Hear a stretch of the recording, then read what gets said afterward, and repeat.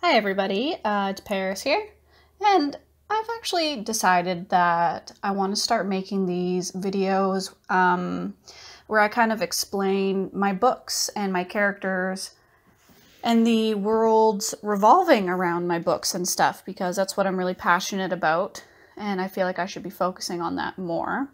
So this first video here I've decided I'm going to introduce Finn and Ron, who are the characters of my Hypernova series.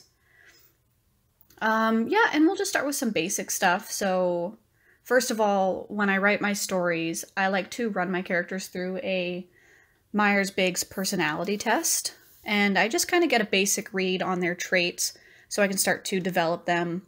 And uh, yeah, a few tweaks here and there, and basically my characters are really flushed out and you know they're golden. Um, the Myers Briggs personality test it puts you basically into these 15 personality types. So there's like ENFP, um, INTJ, and stuff like that. Um, and I actually urge you to check it out if you can because the tests are actually pretty cool. Um, and they're lots of fun even if you don't believe in personality tests and stuff. But enough rambling. I'll just start with explaining who Finn is. And Finn is the main character of my book.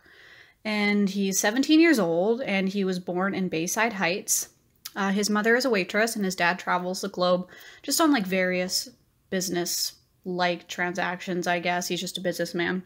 But more importantly, he has his elder brother, Ron, who at the beginning of book one is presumably abducted by aliens when he's 12.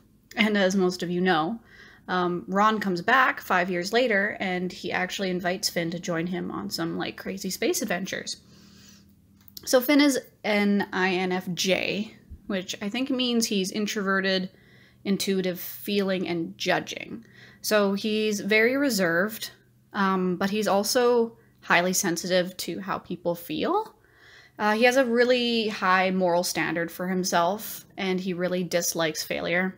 And even though he's introverted, it doesn't mean he's a pushover by like any means. He's not like a shy character, I guess you could say, because he's like fully capable of speaking out for himself, and he does it multiple times throughout the story especially like defending people that he cares about.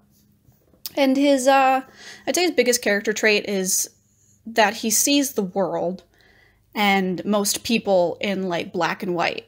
So he's very good is good, bad is bad kind of thing. He'll relentlessly attack people who like oppose him and he'll protect those people that he really loves, like to the death, basically. And that's made very apparent right off the bat in the uh, first book when he states uh, chapter one that like all bullies are jerks, even though he can kind of like understand and empathize like where they come from. Uh, and in the second book, he also refuses to tattle on Ron for something like I won't spoil, but even though Ron is lying to the High Council and Lieutenant Umu, so this shows that like even higher ups, um, he'll choose his own family and stuff over people who hold really high states of authority. Uh, some quick strengths he's sensitive to the needs of his friends, he's very intuitive. Uh, he likes to focus on the future. He doesn't get too stuck in ruts uh, unless he's disappointed in himself. Uh, he enjoys thinking about the deeper meanings of life. He's very introspective. Um, I think the funnest thing about my characters though are their weaknesses, so I'll list off a thing of those, a few of those. Uh, he can be overly sensitive. Um, definitely can be difficult to get to know.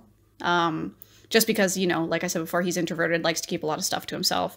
Uh, he's very stubborn and his high expectations of himself can sometimes backfire. Also he has a alektorophobia i think is the way you pronounce it which is the fear of chickens. And i don't blame him All right, and next we're gonna do uh, Ron Bates, which is his elder brother. He's the other main character. Mostly, mostly Finn is the main character, just because like that's who you see through. Uh, it's from his point of view, but Ron is there with his journey basically the entire time. So Ron is also a main character. Uh, he's an ENFP, so he's extroverted, intuitive, feeling, and per- preserving. Yeah, I think that's what the P stands for.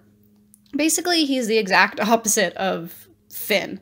Uh, Ron has excellent people skills and he's highly charismatic. He's flexible uh, with his schedule and he really enjoys keeping his options open, especially when it comes to problem solving. Uh, Ron believes in the best of people. and he likes to give them the benefit of the doubt. Um, maybe he's a little bit too trustworthy. Uh, his most notable trait is definitely his sense of humor, which he may or may not use as a coping mechanism. Um, honestly, I'm also an ENFP, so I might be a little hard on him just because I under I feel like I understand Ron a lot more than I do Finn. Uh, funny enough, uh, his strengths: uh, he's warm, he's enthusiastic, he's got strong people skills, he's fun and spontaneous. His weaknesses, which I think are way funnier, he's hopelessly disorganized, which I vibe with. He struggles to follow the rules, and he constantly needs approval from others. Um, and he's also pretty overly emotional, a lot like Finn. Like, let's be honest, the best characters are the emotional ones because who wants to read like a sci-fi adventure centered around a bunch of stone cold statues? Maybe if this was an adult novel, we'd want that, but no, we want we want emotional people so we can watch them go through all the hard stuff. Also, Ron loves pizza, like a lot. Maybe a little bit too much. Oh well. Thanks for watching, guys.